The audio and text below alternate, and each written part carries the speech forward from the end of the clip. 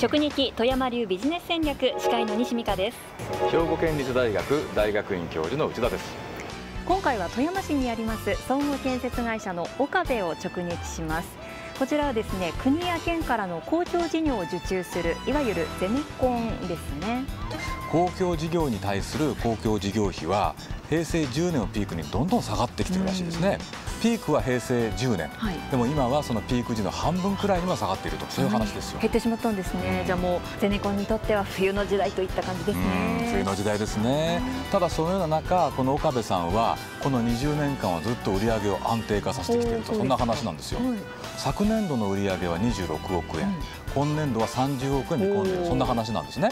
でそのね売り上げの安定化を見込んでいるのがえー、ゼネコンのイメージからかけ離れているようなお子さんを笑顔にさせるあるものがあるらしいんですよ。なるほどこれは何か秘密がありそうですね。ありそうですねそれではビジネス戦略探りに行きましょう。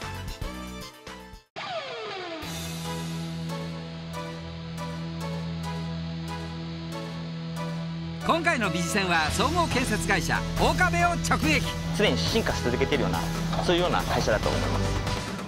最先端の技術で土木の世界に革命を起こしあるものでなんと特許を取得？ってこれ何？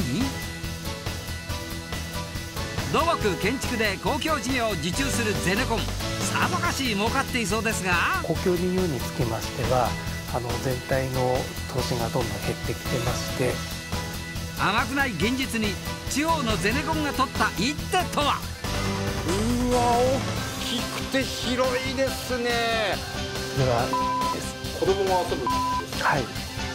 岡部が放つ常識を覆す驚きのビジネス戦略に迫ります。弊社ならではの技術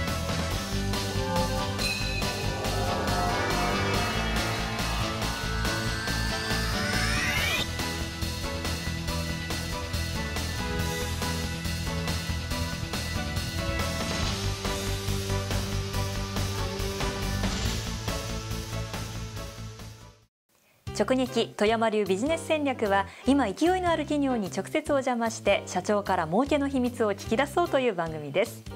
ではゲストをご紹介します。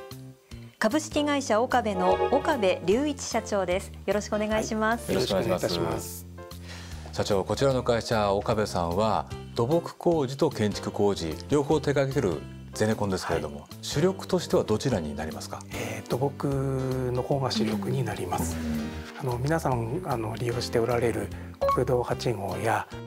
国道156号あと昭和の護岸工事それとあの皆さんあの気づかれないかもしれませんが除雪関係の仕事もさせていただいております。そうするとまさに我々の縁の下の力持ち的な存在ですね。はい、さあでは株式会社岡部一体どのような企業なのか具体的に見ていきたいと思います。参りましょう。はい、岡部を直撃。富山市八人町に本社を構える株式会社岡部。道路河川砂防のり面工事などの公共工事や公共施設の施工一般の注文住宅建築までを請け負う従業員90人のゼネコンです。それじゃどうぞ。応接室にお邪魔すると。うわ表彰書いっぱいありますね。そうですね壁一面じゃないですか、はい、ここには石井知事の名前も。国土交通大臣国からも表彰されてます。優秀なあ技術力で工事を終えたという評価。まだまだまだもらいたいくらい。昭和18年に南砺市旧平村で創業した岡部。その土地柄山岳土木に強く関西電力の水力事業にも参加。実績と信頼を積み重ね今の会社の礎を築きました。庄川の護岸工事の現場です。国土交通省発注の工事を岡部の社員が切り盛りしています。本工事は、えっと、洪水時に少しでも川の流れをスムーズに流せるように、まあ、木を切ってます。ちょうど今切り終わってその整地というか草あの断面をこうきれいにしてます。入社5年目若手社員の阿部さん。自分の会社をどう思っているんでしょう？最先端のこう技術を取り入れて常に進化し続けているようなそういうような会社だと思います。この中学校にも最先端の工法が使われています。その秘密はグラウンドに一見普通のグラウンドですが水はけが良く地面自体が高い保水能力を持っています。大雨災害が発生した時にグラウンドが水を吸収保水するので被害を軽減する効果があるんだとか。さらに岡部ではグラウンドと同じ効果が得られる道路の路盤材を開発しなんと特許を取得しています。全国の会社さんがこの特許を使わせてほしいと。特許についても少し設けさせていただいております。公共工事に特許。さぞかし儲かっていそうですがゼネコンならではのこんな悩みもあります。公共事業はいくら頑張っても、まあ、地域性とかですね、えー、いろいろ条件があっていきなり増えるものではありません。自分たちの汗かいた分どこを伸ばせるかというとやはり民間系の仕事売上の6割は公共事業を中心にした土木建築事業のものです。どうやら残りの4割が社長の言う民間系の仕事に当てはまるようですが一体何？それは遊具です。遊具ってあの子供が遊ぶ遊具ですか？はい。ゼネコンが遊具？謎は深まるばかりですが岡部の遊具があるということで向かったのは石川県加賀市の加賀ニコニコパークうわ大きくて広いですね。すごい人。本当大人気で私どもも正直びっくりしております。ボルダリングに滑り台。子供が大はしゃぎできる遊具がずらり。その中でも一番人気が？網網。いつもあの網に登って滑り台から降りてます。子供たちの圧倒的な支持を集めるのが網を使ったネット遊具。不安定な網の足場を歩く。跳ねる。登る。子供たちの表情を見ればその楽しさが分かりますよね。お母さんお母さんお母さん大丈夫ですか？あ大丈夫大丈夫です。大人も童心に帰って遊べます。もともとあった体育館に去年の4月大規模な遊具を設置口コミで噂がどんどん広がり今では週末になると満員御礼です。最初に遊具に目をつけたのは2代目の秋夫社長。子どもたちのためにと昭和50年に屋外に置く木製遊具の販売を始めました。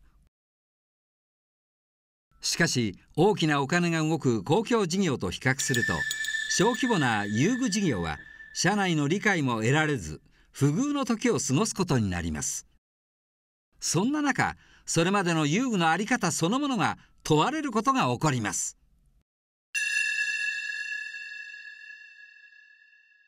原発の影響でお子さんをやはり外ではなくて室内で安全なところで遊ばせたいっていうお話が結構来るようになりました。他にも夏場の熱中症のリスクを避ける傾向も相まって屋内遊具への需要が高まります。空調完全完備なので冬も夏も快適に過ごしていただけます。遊具は屋外から屋内へ。時代の流れに岡部の技術が乗ります。ネット遊具なんですがああいった建築の針からワイヤーで吊るした構造体になっておるんですけれどもでそういった構造計算ですとか安全性は土木建築の確かな技術を用いて設計しております弊社ならではの技術ではないかなと思っておりますあのこれだけ長い歴史があって土木建築一生懸命されててしかもあれだけ表彰も受けていると。で本来ならばその世界でずっとね行きそうな気もしますが、はい、新しいところに行くというの、はい、これはかなり面白いですね。公共事業につきましてはあの全体の投資がどんどん減ってきてまして、特にあの新幹線開業後あの私どもの地域においては必ず落ち込むというのが見えておりました。じゃあそこをどう補うか、うん、そうしますとやはり自分たちで汗をかいて、えー、伸ばせる部分、それが遊具ということで力を入れております。でもなかなかその社内での理解をね ね そうですね。得るのは大変うんはい難しかったんじゃないですかね。まあ当初やはり今までやったことのないものでしたし、一番は営業の仕方がやはり公共事業というのは町の姿勢ですね。で遊具に関してはやはり積極的に提案していく必要もございまして、それがもともと土木をやっていた会社にとっては馴染まない部分もあったんじゃないかなと思います。やっていく中で少しずつ理解が広まったというような形なんですかね。お子さんの笑顔に触れられるっていうところが、今のメンバーもそうなんですけども、はい。それがやりがいになっている部分が非常に大きいかと思います。まあ、東日本大震災とか猛暑の影響でこう、一気に需要が高まったということだったんですけれども、まあ、同じ条件で今他の遊具を作ってる会社さんも同じように需要が高まってると思うんですね。その中で岡部さんの遊具が求められた決め手って何だったんですかね。で一般的な遊具メーカーさんはあのカタログ製品が主流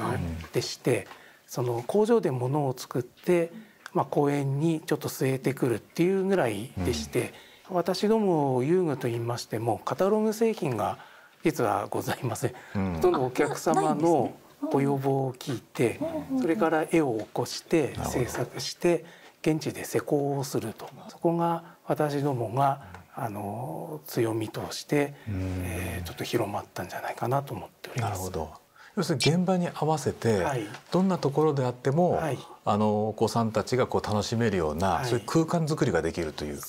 ことでしょうかね。はい。他のゼネコンであんまりこういったところ入ってるとないんじゃないんですか？そうですねゼネコンが遊具をやっているっていうケースはほとんど聞いてないですね。なるほど珍しいです珍しいですね。はゼネコンの事業と、まあ、その遊具の事業と両輪でやってらっしゃるわけですけれども、はいこれ1年間通してのその働き方といいますか、そのあたりで何かメリットがあると伺ったんですけれども、これは大変メリットがございました。あの私ども本拠地があの旧平村山間部でございます。でどうしても12月からえー4月いっぱいぐらいですね、もう工事の方がストップします。うんやはりあのなら雪崩の問題、そうですえーそういう安全面を考慮して工事の方がストップいたします。で逆に遊具については4月の新学期迎える前とか、あとゴールデンウィーク前っていうご要望がありましてちょうどお冬期間ですね、えー一番ピークを迎えるあーなるほど。ところでございましてあの現場が土木の方が空いてきた人員をそちらに振り向けるということで非常にそういう面でもメリットになっております。少ない人員でね。そうですよね。最大の効果を生み出すっていう素晴らしいですね。先生ここまで見てきていかがでしたいやか。素晴らしいですね。その硬いものを作るというイメージがある中で柔らかいところにも行くと。でしかもねそれをきちんと社内での理解も取り付けながら皆さんがきちんと動いてね、はい。で感謝されるものを作ってるということですよ。これは理想的な多角化戦略ですね。では続いては岡部がどのようにして売り上げを伸ばしているのかを見ていきます。参りましょう。岡部のビジネス戦略を直撃。ここは遊具の設計やデザインを手掛けるセクションです。入社して4ヶ月の新人デザイナー本林さん。過去に作った遊具をもとに先輩からアドバイスを受けていました。すごいかっこいいですよね。自分にできるかなって。と謙遜はしていますがすでに群馬の保育園の室内遊具に関わっています若手の柔軟な発想を取り入れオリジナリティあふれた遊具を世に送り出しているんですね。一方こちらは富山市笹津の工場。ここにも若者の姿が。といっても社員のお子さんです。実際に子どもたちの行動や言動を拾い上げ納品前の最終チェック製品開発に生かそうという試みです。自分たちがこうやって遊んでほしいと思っててもそれ以上のもの動きが子どもたちにはありますんでもちろん危険はあると思いますのでそういうのは難しいと思います。この日は一人の子供のある発言が引っかかりました。ネットの匂いする。ネットの匂いする？いいもんね。お菓子の国の匂いする。お菓子の匂いする？俺らじゃ無臭やよな。子供って敏感じゃないですか何でも。手触りとか匂いとかいろんな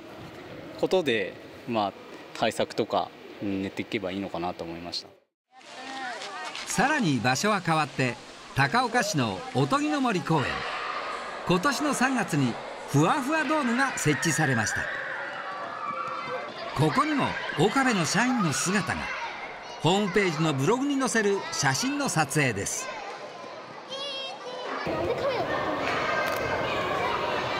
おっちゃんこれ作ったブログの反響っていうのは大変大きく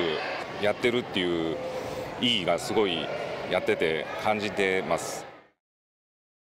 岡部では3年前に遊具専門のホームページを開設。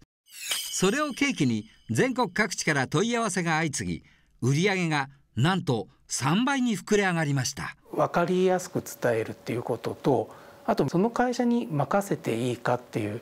どこで安心感担保取るか実際その事業に携わっているメンバーの顔が見えるっていうことがやはり大事だな。ブログには会社の取り組みを月に6回程度アップします。頻繁に更新することで検索にヒットしやすくなり柔らかな表現を心がけることで遊具を作る上で欠かせない遊び心と真面目な仕事ぶりもアピールできます。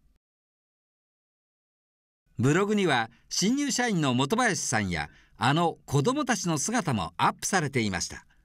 確かに親近感湧いてきますね。正直ちょっと足りんかなと思う時は自分がこっそり書いたりもしますけども。CM の後は遊具の新しいチャレンジが始まっています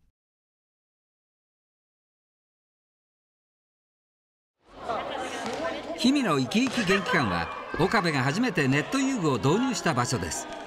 この日子どもたちの行動を注意深く見守る人が富山大学人間発達科学部の学生です運動スキルとそれからコミュニケーションスキルを今回記録してるんですが例えば上からこう声かけて「お父さんここまでおいで」とか人との関わりみたいなことを遊具で促すことができるんだろうなと思ってそういうようなことを今記録してます学生とともに。これは岡部と富山大学の共同研究で遊具が子どもに与える影響を調べています。ところでなぜ遊具メーカーがこんな取り組みを？何でもかんでも安全だからいいっていうわけではなくて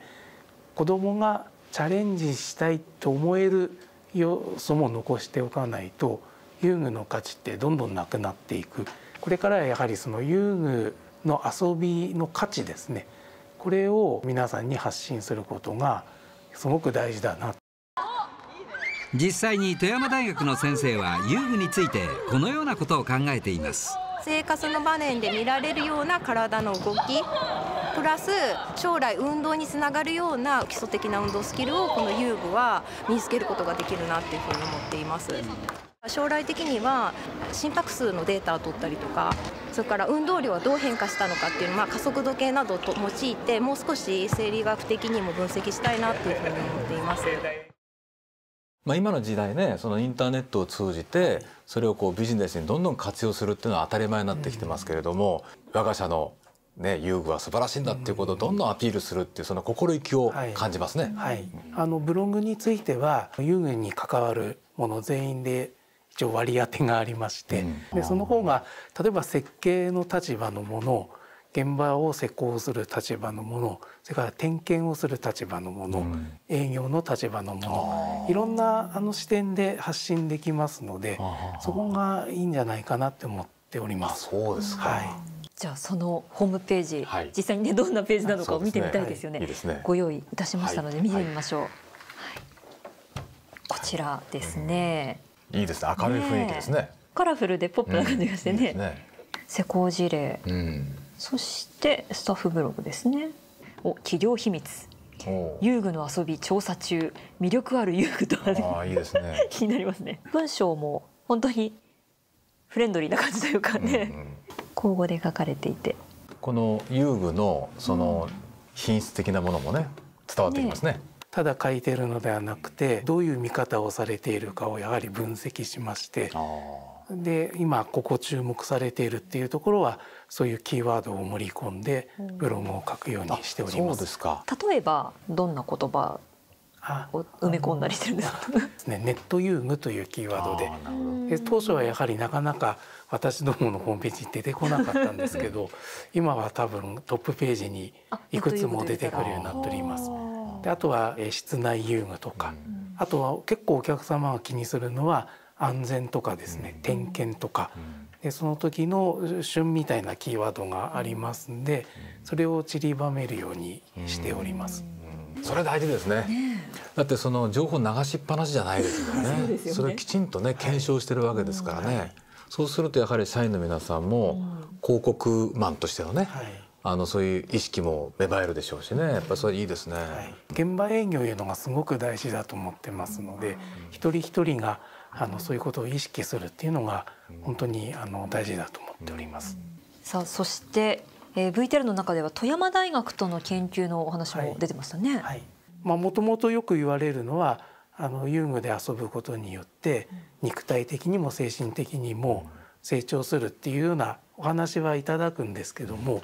なかなか私ども遊具メーカーがそれを口にすることは あのいろいろデータもないのにできませんのでここはやはりあの大学との共同研究によって何か数値的な根拠が見えてくればこれを発信できるなと思っております。なるほど。そういうデータを取ることで遊具に付加価値をつけていきたいっていう思いがあるわけですよね。遊具の付加価値ってのはいいですね。ですからやっぱりそれはただ単に作っておしまいじゃなくて、でも具体的にどんな価値があるのかっていうことをきちんとこう証明するというかね、今その取り組みに進められてるってそういうことですよね。うん、素晴らしいですね。さあそれでは岡部社長、最後にこれからの夢を教えていただけますか？あのやはりお子様の成長のためにはこの遊具が必要なんだっていうことを知っていただくことで、まあ、業界全体がですねあの、えー、価値が上がるといいますか、えー、イメージアップ。あそれとですね土木建築の方ですね地域にとっては災害時の緊急対応、それから本復旧それから冬場の除雪これは地域の建設業が存在しないと成り立たないところですので建設業につきましてもまあ私ども遊具というところを通してですねちょっと全体のイメージアップを図りたい。で地域にとって私どものような地域の会社が本当に必要だっていうことをあの皆さんに知っていただきたいな。そこが今本当に取り組みたいなと思っているところであります。内田先生ここまで見てきていかがでしたか？はい今日私ね最初あの、まあ、ゼネコンの会社ですから、はい、とてもねその硬いイメージというか、はい、それこそそのあんまりこうあの革新的ではなく保守的なイメージを少し持ってたんですけど、そうではなかったですね。すね。非常にこう柔軟で、はい、ねその遊具に入ったっていうこともそうですし、ネットでどんどんどん積極的に行こうっていうこともそうじゃないですか。その辺はすごく勉強になると思うんですよ。小さな最初はねビジネスでもだんだんだんだん本気でやることによって大きくなっていったっていうことはね、すごくやっぱり今日勉強になりましたね。はい。はい、さあお知らせの後は？明日使える賢い儲け術をお伝えします。それでは内田先生岡部から学ぶ明日使える賢い儲け術教えてくださいはい、えー、本日はですねリスクテイクに基づく市場創造です岡部さんはこれまでもね今日お話伺ってる中でものすごくリスクを取ってるんですよ、はい、リスク取るっていうのは取り除くんじゃなくて積極的にそこに入っていくって話ですね、はい、の遊具の話は本業との関わりがあるかないかっていう見方ができると思うんですよ、はい、どちらかというと本業とは直接関わりがないんですね、ですね。でもう一つは同業他社とのつながり。同業他社との先行事例があるかないかですそうすると先ほどのお話の中でははいないんですね。うん、ということは本業との関わりもない同業他社の先行事例もないものすごいリスクあるんですよ。